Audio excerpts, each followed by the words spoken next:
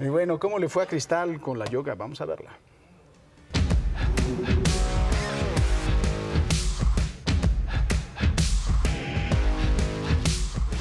Es posible que a lo largo de este ejercicio atraviesen por su mente algún tipo de pensamiento, de recuerdo, de sensación o de impulso.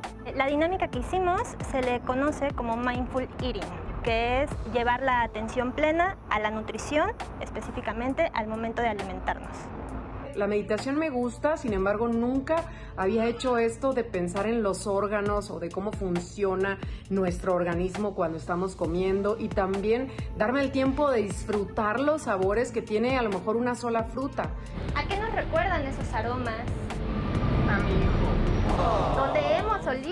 esos olores. A Cristal le pasó algo bien curioso con esta actividad. Los sabores y los aromas le recordaban momentos muy agradables, sobre todo de su hijo, y eso eh, pues también te hace consciente de cómo la comida está muy relacionada a los recursos y los recuerdos de nuestra vida. Pues eso fue algo también muy bonito porque eh, pues son situaciones que hacen que eh, te conectes también ¿no? con, con- con- con tus emociones.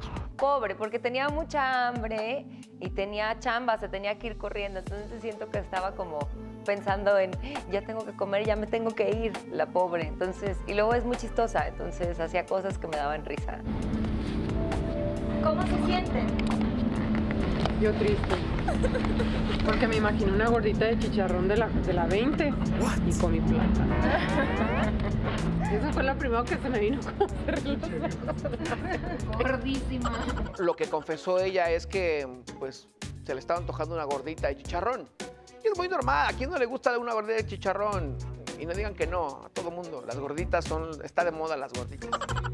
Pero no era como que realmente el tener esa gordita y comerla, porque ni siquiera a veces la, comes y no la disfrutas. Creo que nada más era el impulso, como bien lo comentó la terapeuta. Confundió el plátano con una gordita de chicharrón prensado.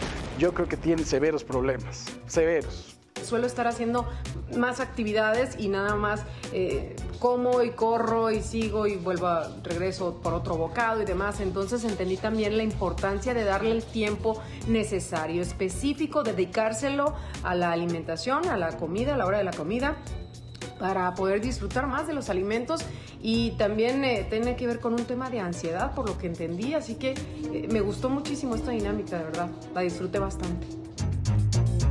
La Cristal ahí en todo el Ah, asunto del, del banano. Mi tía. Sí. Le mandamos un, abrazo. beso a ella y a Matías, Sí, porque ayer bien. operaron a Matías, gracias Bendito a Dios, Dios. está bien. Bendito Dios. Sigue todavía en el hospital, pero está bien. Así Sí, que qué besos, bueno. hermana, te queremos, te extrañamos. Y Y, a Matías. también. Y Aarón también. también. pues, es, el- Claro.